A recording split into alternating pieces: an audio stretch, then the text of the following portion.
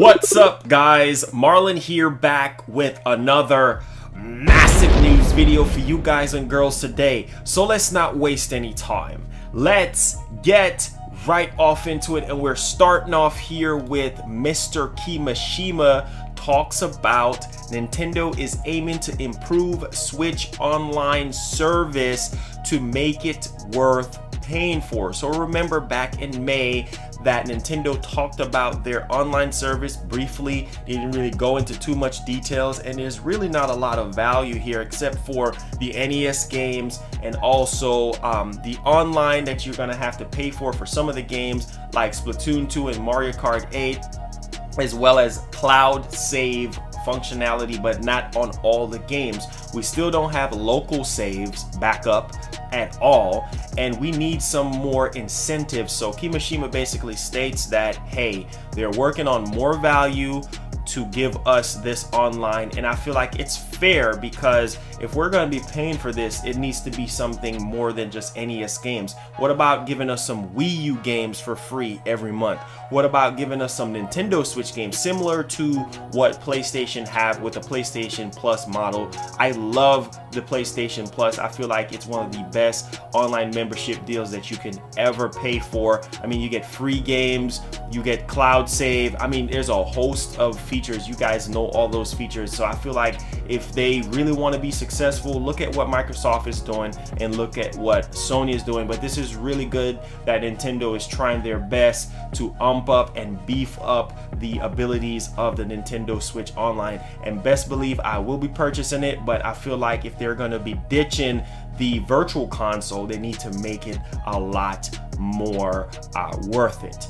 All right, guys, let's jump off to the next part of the news video here. So Sakurai talks his approach to Super Smash Bros. Ultimate, choosing, creating items, working on taunts, and more. So Sakurai pretty much was talking about you know, Smash Ultimate with Nintendo. So Nintendo pretty much interviewed him and he was talking about the past, you know, Smash Brothers games. And so I'm not going to read the whole entire interview. Link will be down in the description down below. So Nintendo asked him, how was your approach to this game different than your approach to the past Super Smash Brothers games? What did you want to achieve with this game? This is what Sakurai had to say. He said that the difference between this game and the past is that all the characters are in it. We really tried our best to make the impossible possible to prevent situations where someone misses a certain character because they have been cut. So he talked about that. Also, he talked about Melee and how it was more geared towards a core audience. He also talked about the Wii U version and the 3DS version and basically talk about the tempo or the pace of, of those Smash Brothers games, as well as he talked about his favorite taunt in the game, which is Ridley, but he states that he loves all of them. Cannot wait for Super Smash Brothers Ultimate. This game is definitely one of the best Smash Brothers games, hands down in the series. I would say since Brawl because Brawl is like my favorite one out of all of them. Melee was good, but it had a lot of technical issues or whatnot. That's just my opinion, but a lot of people are just going insane right now because Waluigi is not in the game, and I'm just thankful that we have every single character except him. That's okay, but there's even more DLC characters possibly in the future with, you know, Smash, Directs, and whatnot. So the hype is definitely real for this game. I love the fact that we're getting so many stages almost all the characters. It's a brand new game with a brand new engine. A lot of people are saying, oh no, it's it's a port and oh no, it looks like the Wii U version. Trust me, this game looks a lot better than the Wii U version.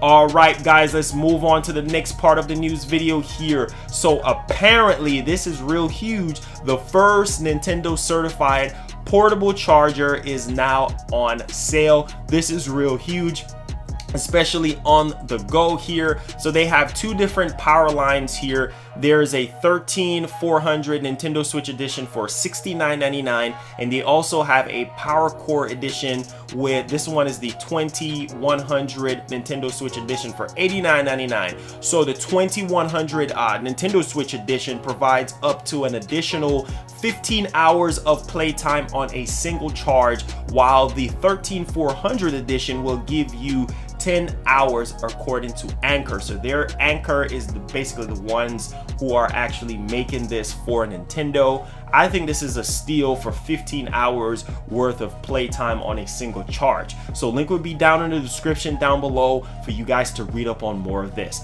All right, guys, let's move on to this semi to last part of the news video here. So basically, this is real huge. Xbox 2 release date rumors. Xbox president confirms multiple Xbox One X successors. So yes, apparently we're going to be getting multiple versions of the next Xbox that is rumored to be coming out in 2020 and apparently we should be getting a huge surprise at E3 next year. So we should be getting an Xbox 2 or whatever it's going to be called next year. So the hype is definitely real for this and apparently you know the Xbox 2 is currently in production. So I cannot wait to see what Microsoft is going to do. The fact that they bought out what five new studios uh, during this past E3 that they were talking about I think the future definitely looks bright because one of the things that really kills Microsoft is no exclusives. They have the third party deals and they have the third party games. Everybody had third party games or whatnot, but you need exclusive games. Exclusive games is what sells your console, Microsoft. So please learn from your mistake with the Xbox One right now and focus on your future with the Xbox. I mean, if they fail with this next Xbox, I don't see how Microsoft is going to bounce back from that. And then the last bit of news that we have for y'all today is Microsoft just dropped a Xbox wireless controller. It's a sport white uh, special edition and it's diamond gripped for enhanced comfort. And this looks really good. It will be on sale on August 7th 2018 so let me know if you're going to pick that up. All right guys that ends off today's news video. If you enjoyed it please smash a staggering 150 likes. Let me know you guys want more news videos like this moving forward. Subscribe if you're brand new to the channel turn on that notification bell to join the brotherhood that we have here. And peace. Switch gang nation. Love you guys. We out of here